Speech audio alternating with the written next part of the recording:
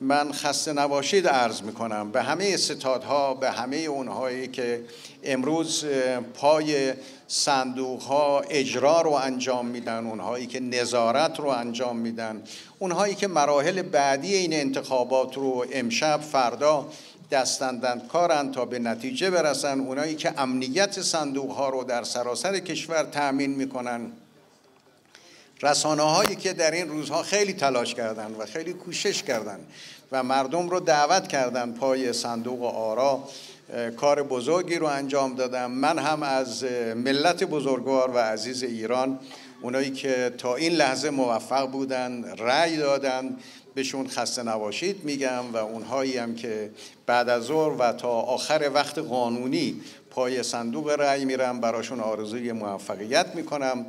انشالله افتخار جدیدی رو ملت ما خواهد آفرید. و دشمنان ما بیش از گذشته معیوس خواهند شد انشاءالله.